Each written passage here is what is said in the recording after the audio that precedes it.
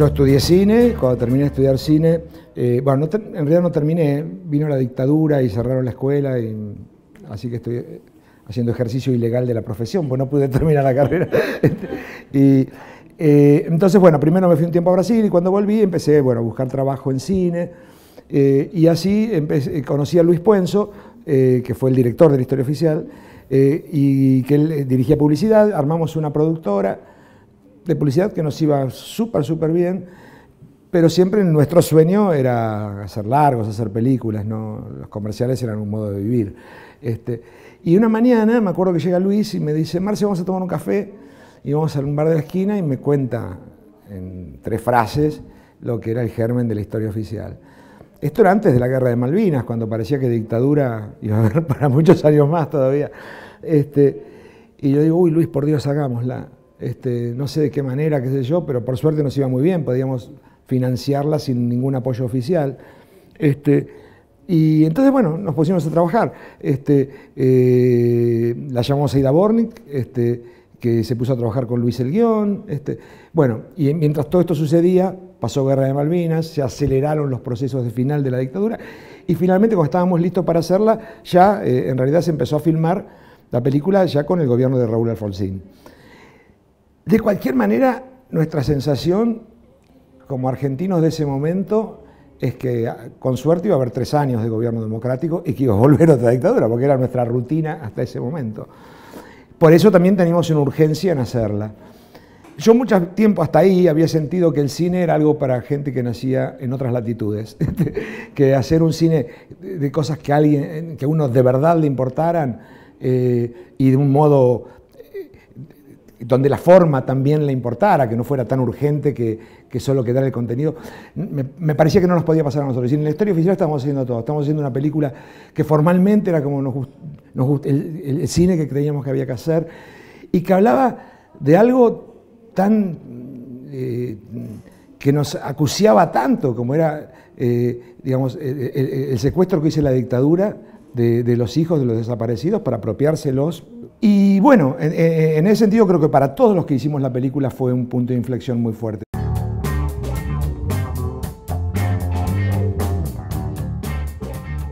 Para mí fue shock cuando estrenamos en Argentina, porque hasta ahí habíamos, habíamos pasado así de pronto para grupos de gente cercana, inclusive que algunos gente ligada a derechos humanos, etcétera, etcétera, pero de algún modo eh, hasta, hasta el estreno la habíamos exhibido a gente eh, con la que no teníamos eh, tensión en la manera de entender la realidad argentina. Cuando, claro, se estrena al público, aparecen tensiones. la sociedad argentina, particularmente en ese momento, tenía una relación muy conflictiva con estos sucesos que todavía muchos no aceptaban como que era verdad que habían sucedido. Este, entonces, bueno, fue una película que generó toda clase de debates, a derecha, a izquierda, a cualquier lado, por arriba y por abajo, eh, pero que claramente importaba. Claramente importaba, claramente uno notaba que sacudía la conciencia de un país y fue muy exitosa, fue vista como por dos millones de personas. Este, eh, entonces, realmente, cuando éramos muchos menos habitantes que ahora, eh, pues seríamos en ese momento 25 millones, o sea, casi el 10% del país la vio. Este, y la verdad generó una discusión muy impresionante. Y cuando la película salió al mundo, que arranca en el Festival de Cannes, su carrera internacional, bueno, fue eh, lo mismo. Y yo ahí, yo acompañé a, los estrenos en, todo el mundo de la peli, ¿no? Y ahí la verdad que también aprendí, digamos, había países eh, eh, en los que se estaba mostrando la película y que funcionó muy bien en general con el público en todos lados, que yo creo que el público ni sabía muy bien dónde quedaba la Argentina, mucho menos que había habido una... Pero había una verdad humana en la peli que hacía que la comprendieran, que los emocionara, que los conmocionara este, y que les provocara reflexiones. Yo creo, en ese sentido, eh, confirmé mi vocación, este, mi vocación de cineasta. Este, eh, y, y, el tema de... Mm, de que el cine se trata de eso, ¿no? de, encontrar alguna forma, de, lograr plasmar alguna forma de verdad. No necesariamente sociopolítica como la historia oficial, eh, eh, puede ser una verdad absolutamente personal e intimista, pero cuando esa verdad está plasmada, ahí va a conectar con algún espectador, va a conectar hondamente con algún espectador. Y en definitiva creo que de eso se trata, ¿no? Creo que cuando uno se pone a hacer una peli, o supongo a escribir una novela, o, a pintar un cuadro, o eh, a componer, eh, eh, creo que, toda la actividad artística, en definitiva, busca alguna forma de emoción profunda y verdadera a transmitirle a alguien, no necesariamente a muchos, ojalá, pero a alguien, mínimamente a alguien, ¿no? La conexión que la obra provoca entre el hacedor y quien la recibe.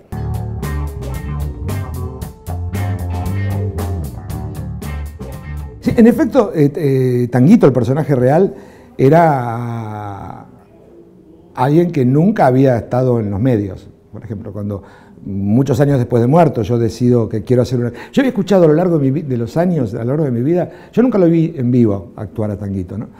Eh, pero había escuchado su historia contada muchas veces, siempre diferente, pero siempre con algo en común, que era el tipo que de alguna manera le había puesto el cuerpo este, para defender sus convicciones. Y le había costado. este, eh, entonces, y me acuerdo cuando muchos años después, o sea, después de la historia oficial, que yo me pongo a preparar esto, Tanguito murió en el 71, este, eh, y yo esto lo empiezo a trabajar en el 86, más o menos 87. Lo primero que hace uno cuando se pone en una historia real es ir a las bueno, no había, internet todavía no estaba desarrollada, era ir a las hemerotecas de, los diarios, etc. No había nada. Había un pequeño artículo en una revista de rock de los 70 que anunciaba que Ramsés, que era otro nombre con que se lo conocía Tanguito, iba a entrar a grabar un disco, que es ese, ese disco que nunca se grabó. Este, y después un artículo ya en los 80 que había escrito en un diario que duró muy poquito tiempo, Marcelo Figueras, que es con quien yo después escribí muchos guiones, pero en esa época no lo conocía. Este, y no había nada. Entonces hoy me dije, bueno, Dios, si en un momento en que los medios de comunicación tienen el poder que tienen, no solo para fijar agenda, sino hasta para ¿Qué tenemos que pensar de esa agenda? Hubo como sucesivas generaciones de jóvenes en Argentina que redescubrieron la tradición oral para mantener viva esta historia, es que esta historia está contando algo de nosotros que vale la pena mínimamente investigar, reflexionar sobre eso. Y bueno, ahí nos tiramos. Y nos tiramos, sí, no a que decir esta es la verdadera historia, sino no, a tratar de interpretar la leyenda, a contar la leyenda. Este, porque yo sentía así, yo soy de algún modo de esa generación de los 70. Eh, mi momento existencial de ese momento estuvo más puesto en la política que, o sea, yo estudiaba cine, pero en ese momento la escuela de cine estaba muy por un cine testimonial de combate, acompañando la revolución y tingui, tingui. Entonces, eh, de pronto no estaba yo tan cercano, pero sí sentía que había un espíritu de la rebelión juvenil de ese momento, de los 60, 70, que era profundamente en común y que, si, y que lo que me permitía también centrarlo en un artista, eh, era salir de las discusiones partidarias, que normalmente todo lo que hacen es tirar humo. y, eh, entonces, este, bueno, por otro lado, sí, el rock yo creo que también es la banda de sonido de esa generación, por lo menos de este lado, en el mundo occidental. Creo que también en parte del otro, pero, eh, pero entonces también, viste, en una primera película, Tango Feroz es mi primera película, se te mezclan muchas cosas, ¿no? Por un lado, lo que querés contar, tú mira, eh, en ese sentido, para mí contar esa experiencia no era, me era muy importante, pero también me era importante eh, eh, hacer así, casi como, decir, bueno, en el cine argentino, cuando hay jóvenes, son actores de 40 años que los interpretan, yo quiero hacerlo con actores que todavía no tienen terminado de armar la cara, que realmente tienen la edad de los personajes. La música quiero que sea central, en el cine argentino la música estaba muy descuidada, este, me, me parecía que la música tenía que ser parte central del relato, eh, o sea, ir articulándose con el relato. Bueno, había toda una serie de cosas formales y, narrativas y, de lo que la película observaba y contaba, que bueno, eh, una, una primer peli quiere todo, pues quizás sea la última también.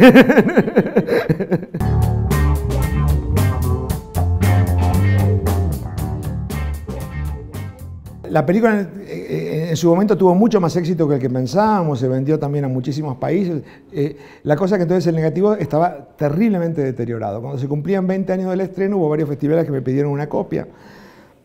Así que bueno, tenemos una copia nueva para mandar, qué sé yo. Y me pongo a investigar, nadie sabía dónde estaba el negativo.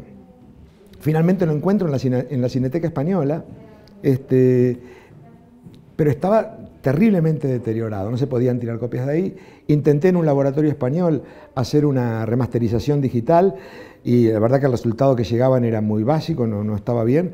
Y digo, ¿qué puedo hacer? Desesperado, pensando que...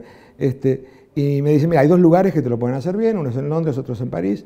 Eh, lo mando a Deluxe París. Este, y ahí se hizo una restauración cuadro por cuadro de la película y, quedó estupenda. Este, y cuadro por cuadro quiere decir, este, un, eh, un segundo son 24 fotogramas. Entonces vamos a poner el fotograma este. Eh, tiene una, un, saltado una emulsión acá y acá. Pero el anterior esto lo tiene y tiene saltado acá y acá. Entonces es ir quitando información y pasando, ¿me, entendés? Este, este, eh, o sea, es un trabajo realmente chino, pero lo hicieron franceses.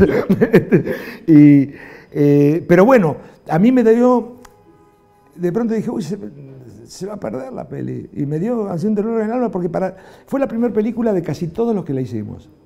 Y a casi todos los que la hicimos nos cambió la vida. Eh, entonces, aunque más no sea por nosotros, me parecía que era un, pecado que se perdiera. Yo creo que en ese sentido, en Argentina y creo que en Latinoamérica en general, somos muy desaprensivos con nuestro patrimonio cultural. Eh, creo que no hay políticas de Estado que serían imprescindibles y que uno las ve en Estados Unidos, en Francia, eh, políticas de Estado de preservación del patrimonio cultural. Eh, porque más allá de que, del valor que artísticamente alguien le pueda dar en un momento a una película o a otra, esas discusiones que en un punto son importantes, pero en otro punto son banales, si hablamos de patrimonio cultural. Este, porque, eh, eh, porque, digamos, aún la peor película argentina de los años 30 nos refleja algo del habla, algo de la mirada, algo de la manera de moverse, de caminar, del uso del físico, que si no rescatamos esa peli lo perdemos. Y empezamos a imaginar cómo hubiera sido eso, pero acá lo podemos ver. ¿no? Entonces, este, bueno, esto fue un emprendimiento totalmente personal que hice yo, este, porque por suerte ha ido muy bien a la película, me fue muy bien después en mi carrera y lo pude encarar.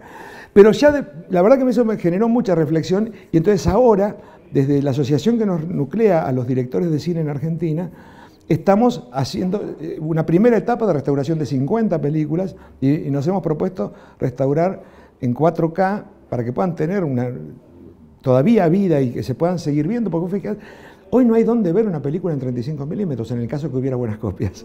Este, entonces, eh, eh, es imprescindible pasar todo el material a 4K para que pueda pasarse en salas y para que pueda tener una vida, inclusive en los circuitos eh, digitales, ¿no es cierto? Toda la televisión hoy es digital, todo lo que se ve por internet es digital. Entonces, bueno, nos hemos propuesto, ya hemos hecho 50 películas, estamos haciendo ya la segunda etapa de 50 y vamos a hacer 50 por año. Debería ser el Estado, no una entidad privada como es la Asociación de Directores. Pero bueno, por lo menos lo estamos haciendo lentamente, pero lo estamos haciendo.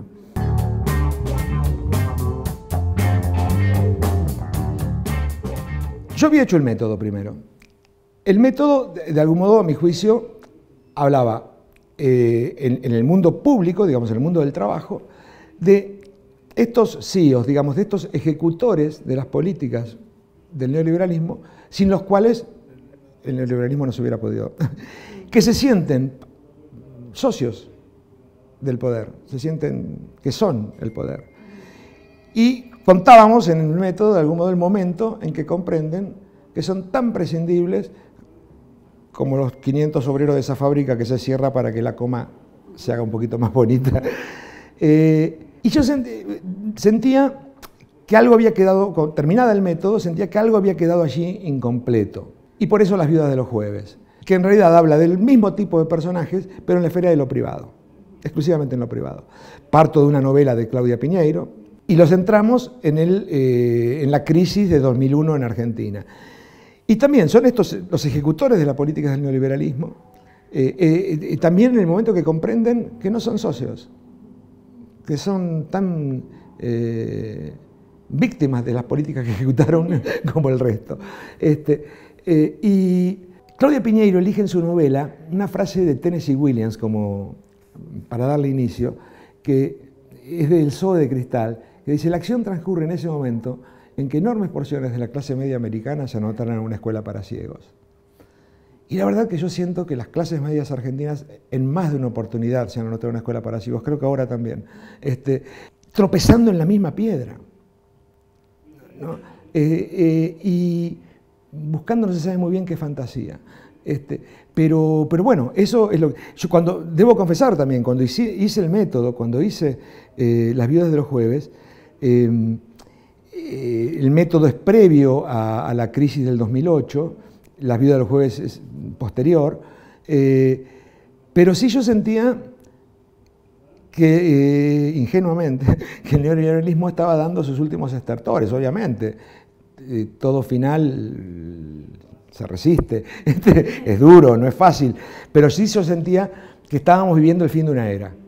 Este, mm, no estoy tan seguro de eso ahora, lamentablemente, este, pero, eh, pero, pero sí, en definitiva, sea el fin de una era o no lo sea todavía, todas las eras, la humanidad nos ha demostrado que todas terminan este, eh, eh, inexorablemente y van a dar comienzo a otra. y, y sí siento que, eh, claro, que estas políticas necesitan de sus ejecutores.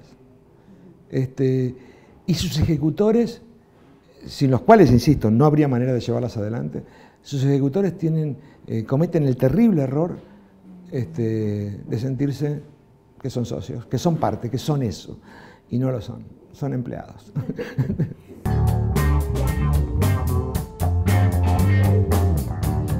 Eh, primero voy a hablar de lo personal, del éxito de mis pelis. Este, yo tuve la, eh, suerte de arrancar en, otra época, donde era más fácil eh, la llegada al, público.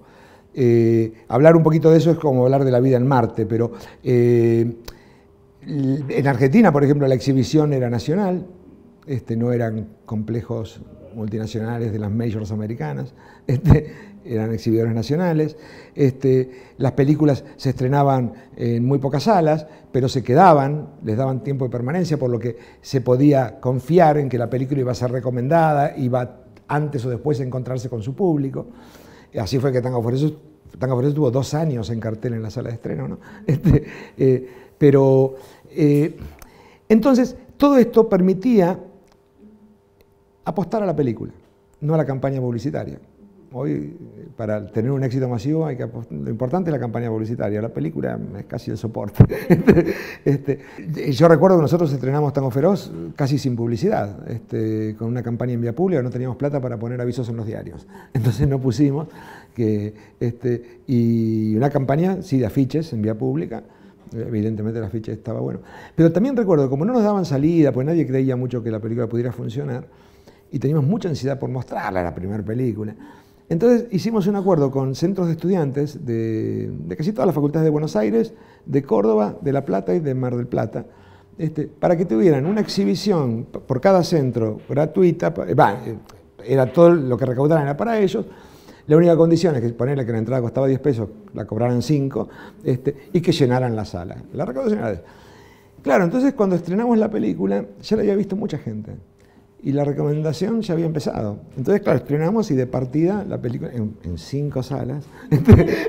este, ahora se estrenan en 400 salas las pelis, ¿viste? Entonces, este, eh, en cinco salas, claro, las salas se llenaban eh, eh, y, bueno, y ahí fue todo. Ahora es muy diferente en ese sentido. Es muy, muy diferente. Mm, la verdad que hoy en Argentina, si no estrenas con una major americana, no tenés ninguna chance por buena que sea la película, de que el público se entere que exista. Si no hay una fuertísima inversión publicitaria, yo veo en este momento, hay en cartel por lo menos cuatro películas argentinas muy buenas, que el público si las descubriera le encantarían. Este, películas que hablan de cosas que importan, que son eh, para generar reflexión, polémica, para discutir este, eh, apasionadamente. Eh, pero no saben que existen. Eh, entonces, este, en ese sentido sí yo siento que tuve un privilegio, porque era, mm, mm, obviamente eso me permitió ir haciendo películas que ya eran de algún modo esperadas por el público, que se estrenaban internacionalmente porque habían arrancado muy bien en Argentina, este, y esto me daba visibilidad como director, ya al poco tiempo empecé a hacer películas que se financiaban en Europa, que no se financiaban en Argentina, y por ende me daba también mucha independencia de los avatares de los sub y bajas de, nuestros países, ¿no? que son chun, chun, chun, chun. Este, y entonces, en ese sentido, siento que en lo personal se, dieron en mí una serie de circunstancias eh, muy favorables que, en las que yo tuve la suerte de estar parado en el medio, digamos. Este, eh, y creo que ahora es más complicado para un cineasta que arranca, mucho más complicado.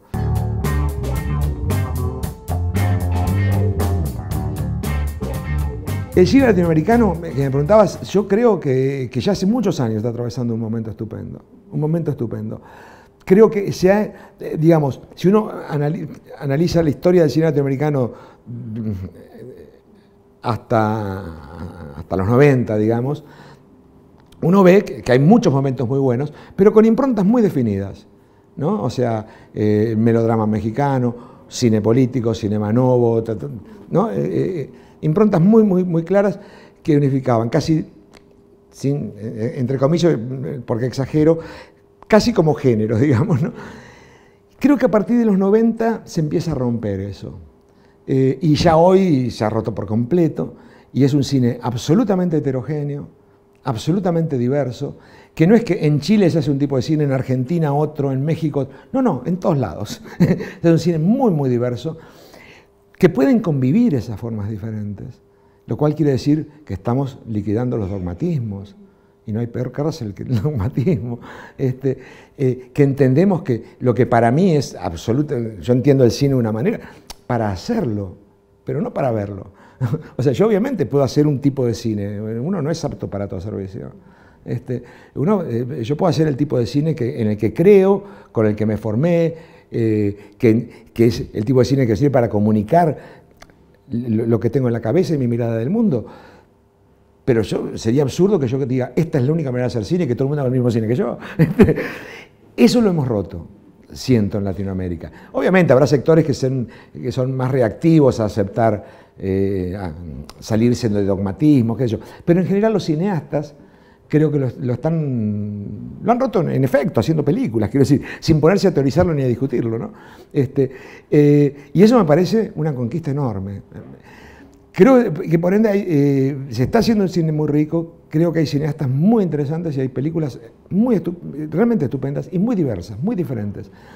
Eh, creo que siempre tenemos la atención de que el cine es una expresión artística cara. es menos cara que de pronto hoy que en otros momentos. Hoy hay muchas maneras de producir una película. Cuando yo empecé sí había una manera de producir una película. Podía costar un poco más, un poco menos, pero las películas se hacían de una manera. Hoy se hacen de cualquier manera. Hoy con un celular puedo hacer una película o puedo hacer una película en IMAX. Digamos. Eh, eh, y en el medio están eh, todas las variables que uno puede imaginar.